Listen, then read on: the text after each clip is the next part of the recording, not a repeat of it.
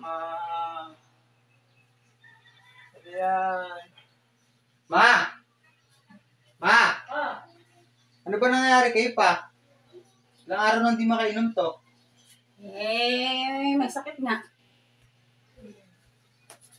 Ano? Kaya pa ba? Puno ka na? Ko na kaya. Kailangan nang ibigay talaga kung anong ano nito. Ano pa makakapagpagaling dyan? Papagaling dito eh. Teka, kailangan nang ibigay ng gusto. Gagaling niya.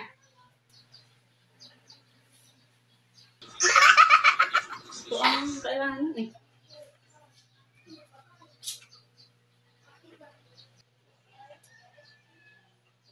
Yan, yan.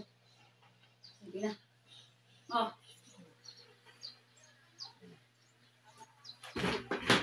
Parang mga ano ang aagos. Ito kailangan niya eh.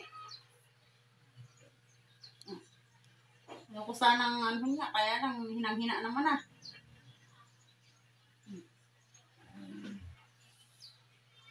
Ano?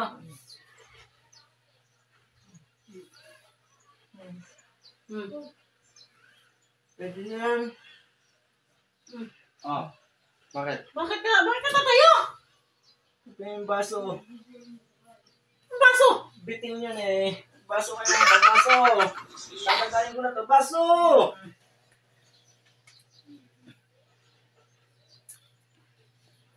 Mag-isa talaga to eh. No, para lang. Sabi ko na eh. Ito lang ang kailangan talaga eh. Eh, wag na baso. Ito na. Taga. Oh, Talaga. Ito nang nailigtas ako ng Red Horse. ano lang talaga sinasabi ko, kaya ayoko sa ano eh. Pang palakas mo talaga yan. Ito talaga.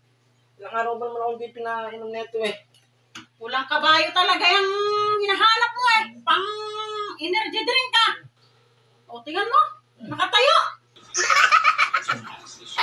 Araw-araw kasi painom neto. पापा